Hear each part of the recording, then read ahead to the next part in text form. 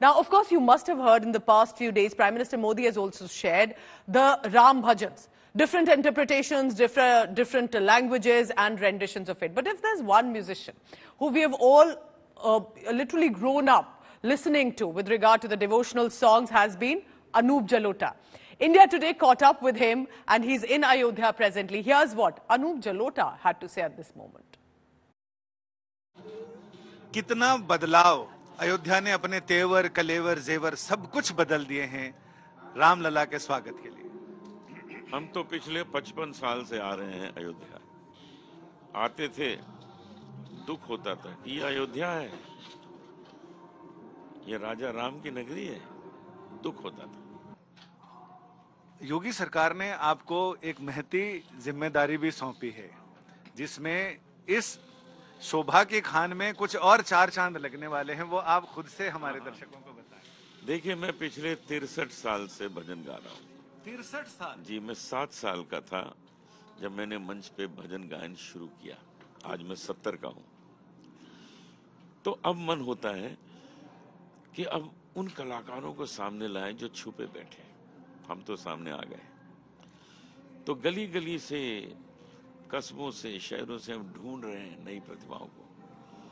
हमको योगी जी ने आदेश दिया है, एक बहुत अच्छा काम दिया है, कि जितने सुंदर घाट हैं, मंदिर हैं, उन पर आप काम करें, वहाँ इस तरह की प्रस्तुति पेश करें नए नए कलाकारों को पेश करें, जिससे कि वो प्रतिभाएँ सामने आए। कि आपने रोम रोम से राम को गाया है। आपके हृदय के करीब कौन सा राम का भजन है? ठुमक चलत रामचंद्र है या कोई और है?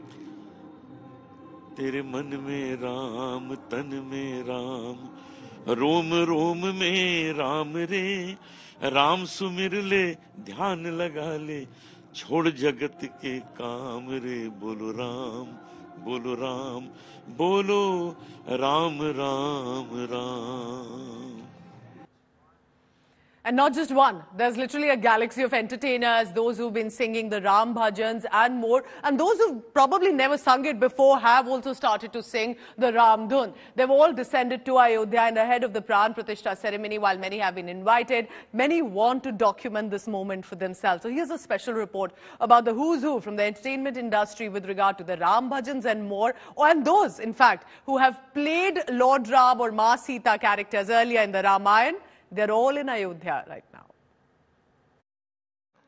तो ये रामलीला बाकी लीलाओं से जो बाकी समय पर होती है उससे बिल्कुल अलग है। मौसम अलग है छटा अलग है भावना अलग है भाव अलग है।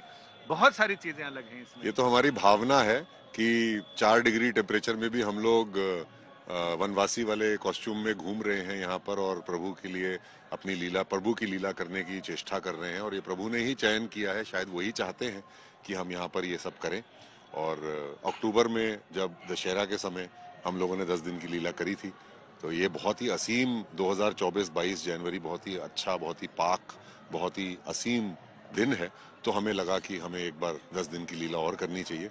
तो 10 दिन की तो ना सही पर 16 तारीख से शुरू करके हम 22 तारीख तक इसको करेंगे यहाँ पे चेष्टा करेंगे। और यही हमारी धर, हमारी भक्ति है प्रभु के चरणों में यही हमारा स्वभाव है। देखिए, रामलीला तो वही है जो उस वक्त हुआ था, वही हम आज दिखाने की कोशिश करते हैं। तो सीता के मन में भी वही भाव है कि वो अपने श्री राम से मिले, जो उनका बीच में जो वक्त रहा, जो कठिन समय रहा था, उसको उसको पार कर सके और फिर से अपने श्री राम से मिले। तो वही भाव मेरे अंदर भी है। मुझे ये सीता माता का किरदार निभाने का जो मौका मिला है, ये गौरव जो मिला है, इससे मैं बहुत बहुत गौरवान्वित महसूस करती हूँ। और इस मौके पर मिला है जबकि राम मंदिर का इनाग्रेशन होने जा रहा है, जो हिस्ट्री में एक बार ही होगा और उसका हम हिस्सा बन रहे हैं तो ये बहुत ही बहुत ही महत्वपूर्ण अवसर है।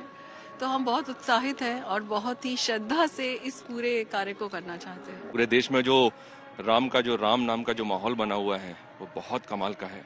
और मैं सौभाग्यशाली हूँ कि मैं इस वक्त यहाँ मौजूद हूँ और एक इतिहास का मैं एक हिस्सा बनने जा रहा हूँ। मैं रामलीला कर रहा हूँ रावण का चरित्र निभा रहा हूँ। तो मैं ये कहूँगा कि बहुत अच्छा समय आ गया है। कि रावण भी बोल रहा है, जय श्री राम. मैं जितने लोग सुन रहे हैं, देख रहे हैं, मैं आज इस शोभा के बाद पहली बार इस शोभा के सजने में मतलब मैं पीछे दो महीना पहले आया था और आज आया हूँ, झंकृत हूँ। गली गली सजी हुई है, सजे हैं बंधनवार, बने हैं जहाँ तहां श्री राम जी के लिए सुंदर तोरण द्वार। केवट भाव में लोग खड़े हैं खड़े निषाद राज। और ऐसा लग रहा है कि 500 वर्षों के बाद पुनः विराज रहे हैं कौशल राज।